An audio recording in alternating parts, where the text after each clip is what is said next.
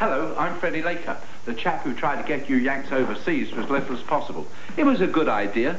Now I've found another way. By telephone. You can dial a one-minute call from the States to the United Kingdom for only $1.25. Each additional minute is only 76 cents. If you've got family and friends in the UK who'd like to hear from you, fly Bell. I mean try Bell. Call them. Bell brings the world closer.